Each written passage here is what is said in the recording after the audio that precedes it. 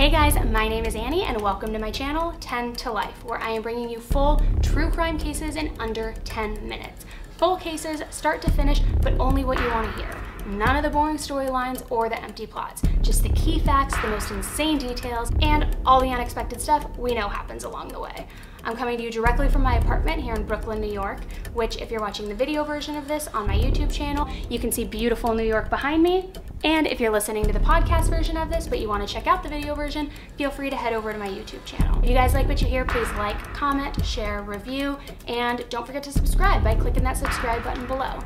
If you have any case recommendations, send them my way. I would love to hear them.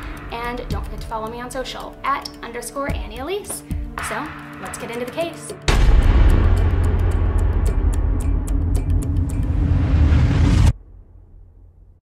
Hey guys, welcome back. So, holy shit, do I have a case for you today. It is happening right now in real time, happened this week, a brand new update this morning, and it is insane. So, let's jump right into it. Fahim Saleh is a 33 year old man who lives in New York City, and he is a self made millionaire. He's the CEO of his own tech company, and he has had a ton of different companies leading up to the one he currently has, and really is self made to the core. Fahim was born in Saudi Arabia to Bangladesh parents, and they soon settled in a small town in New York called Poughkeepsie, which is right off of the Hudson River. After graduating from Bentley University in 2009, Fahim started his very first business and he created an app called Prank Dial. And what that was was basically recording pre recorded prank dial calls that you would send off to your friends. And he ended up making that company and building it into a $10 million business. He then went on to found a motorcycle ride sharing company in Bangladesh, so similar to Uber but with motorcycles. I mean, very unique and very smart and innovative. Ended up leaving that company in 2018 and started another company, which is the similar concept in Nigeria. So, all around, very smart, very successful, clearly very intelligent man. He was self made, like I mentioned, a complete millionaire. He's only 33 years old. He now lives in New York City, and just all around great guy. Now, we know oftentimes that these wealthy people, especially when they're younger, can be targeted and people can take advantage of them and use them because they know that they have an exceeding amount of wealth, that sometimes if they are in fact younger, that they could potentially get manipulated no matter how smart they are. And people really do try to use these people and really come in as opportunists a lot of the time. And unfortunately, this was no different for Fahim. And in fact, he had a personal assistant who stole tens of thousands of dollars from Fahim. But like the good guy that he is, rather than calling the authorities or pressing charges or having him arrested, Fahim simply said, you know what, let's work out a payment plan. You can pay me back. I get it. People fall on hard times. I'm not going to press any legal action and we'll work it out that way. I mean, he was just an all around good guy, a generous guy. And again, no malicious intent with really anything. And most people wouldn't be this gracious under circumstances like that because not only is somebody stealing from you, but it's a different level of betrayal because it's somebody who works for you, who's your personal assistant, who you're so close to, so you feel betrayed. But he still continued to be completely gracious about it and said, you know what, we're going to broker out this deal of a repayment plan and it's going to be all good just an all around amazing, good guy. And now he lives in Manhattan, New York, in a $2.2 million condo in the Lower East Side. His condo was on the seventh floor of this building, 1,400 square feet, two bedroom, and it had a private elevator that when you take the elevator up, it gives you direct access to the unit. I mean, for 33 years old, that's pretty damn good. I would say he's made it. Earlier this week, on Tuesday around 3:30 in the afternoon, after not hearing from him all day, Fahim's sister decided to go in and check on him.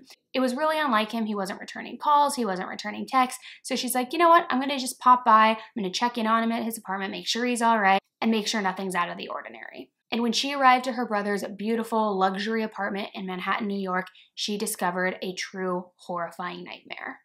Upon entering her brother's apartment, she looks around looking for his brother, probably calling his name, checking in to see if he had maybe overslept, if he was just taking some time for himself, and she soon discovers a human torso just off of the living room.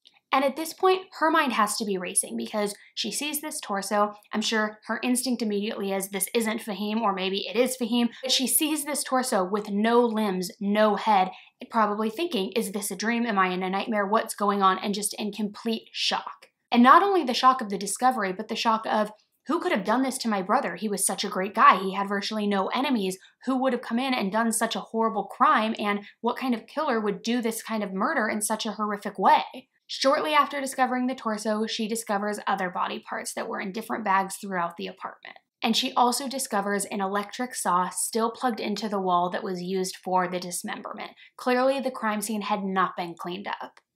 The neighbors describe his sister as wailing and screaming, He has no head, he has no head, and pointing to her arms to indicate that his limbs had been cut off as well.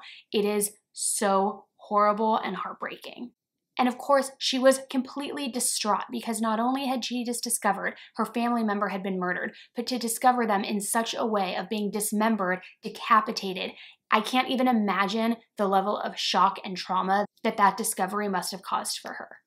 The police are immediately called and they arrive on scene and they start their investigation that goes all through Tuesday night and into the early hours of Wednesday morning. And they are searching that apartment top to bottom, looking for any physical evidence, any sort of trace evidence, forensic evidence, anything to help them identify who this killer is, what was the motive, who was this killer, how what was the crime that actually took place and what was the cause of death, really trying to figure out what took place in this gruesome discovery in this beautiful high-rise apartment building in New York City. One of the key pieces of evidence that the investigators discover is the surveillance footage from the building.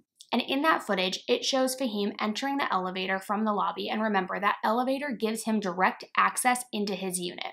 And it shows him entering the elevator and then a man entering shortly behind him. They describe him as a well dressed man, a three piece suit, wearing a black face mask, carrying a duffel bag, and pretending to go to another floor. Although he didn't in fact select another floor, that was all a ruse because he was following Fahim, and when the elevator doors opened, he blitz attacked him. Investigators say after the murder, the killer used Fahim's credit card to get in an Uber or a rideshare company car, travel to a local Home Depot, pick up cleaning supplies, and use that to sanitize the entire crime scene. The killer then returned to Fahim's house the very next day, that Tuesday, and started the dismemberment and the cleanup of the scene. Officials say that when his sister arrived Tuesday afternoon around 3:30 p.m. and was buzzing in to come in, that it must have startled the killer and that's why everything was left behind because he fled in such a hurry. That's why the saw was still plugged into the wall. That's why certain body parts hadn't been bagged up.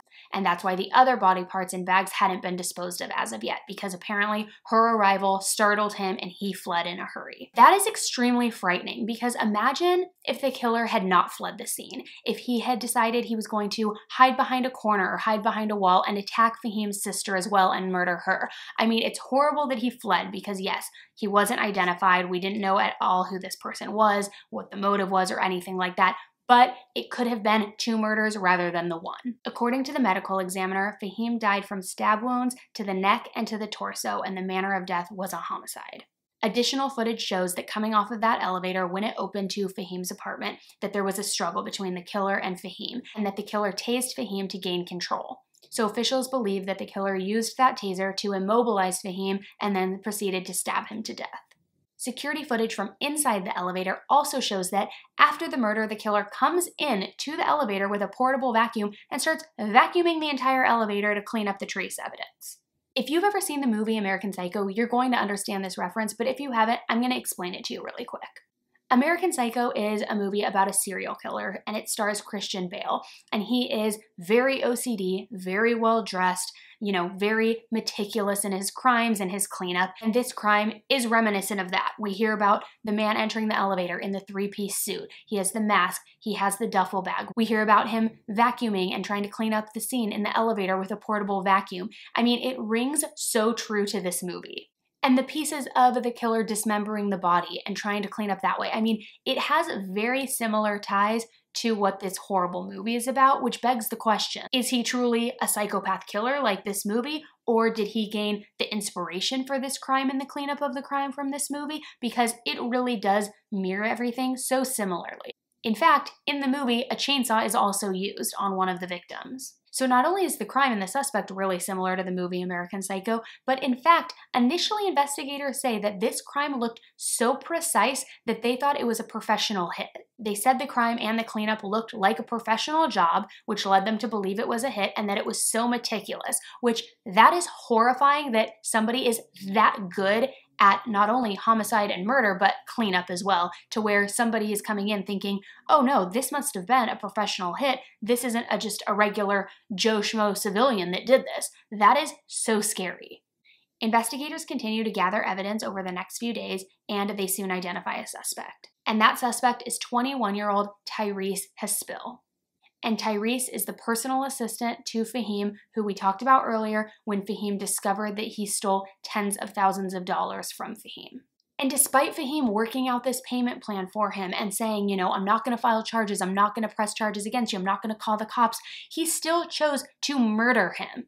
Why? What was the motive? Yes, you had to repay the money that you stole, but it's not like he was calling the police. It's not like you were going to be arrested. What is the motive for the murder?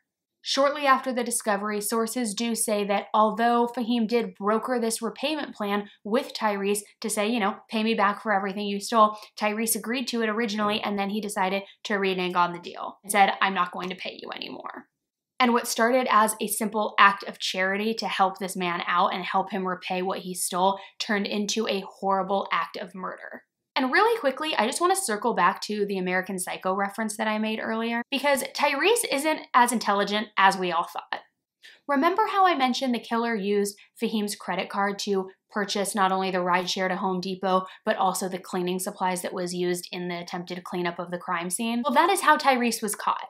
Because although the credit card that was used was in fact Fahim's, it was in Tyrese's name. He used his corporate company card to take the rideshare from Fahim's house to Home Depot and then buy the supplies. So it was in his name, yes, but the bill was going to Fahim. So of course the police were going to discover that right away and discover the name that's on the card. I mean, it makes no sense. What kind of idiot do you have to be to use your corporate card at the crime scene where you're killing your boss? You are so dumb.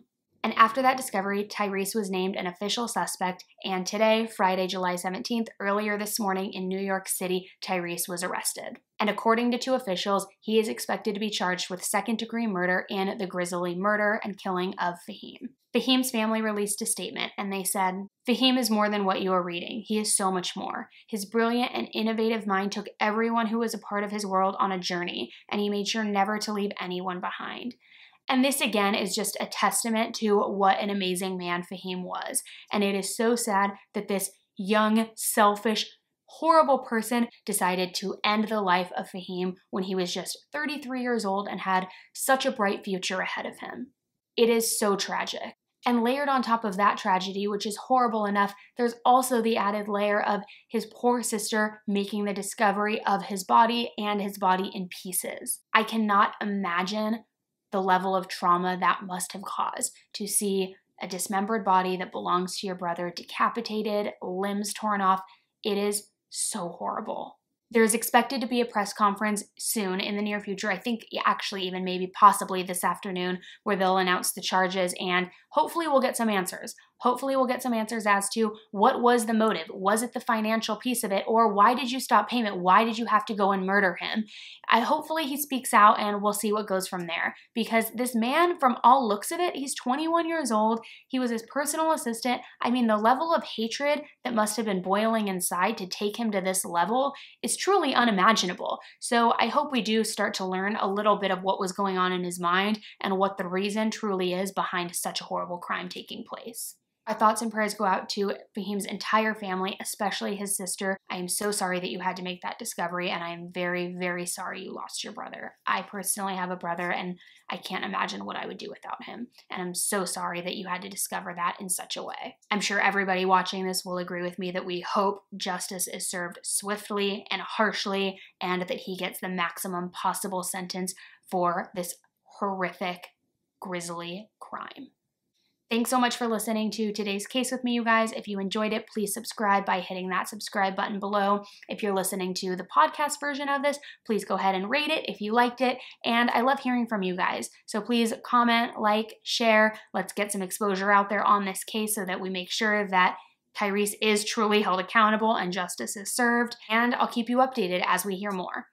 As a reminder, we've also got some true crime merch that just landed. The link is in the description box below. And if you have any case recommendations, as always, please send them my way. My email address is also in the description box below. Thanks again so much for listening with me, you guys, and I will talk with you soon. Bye.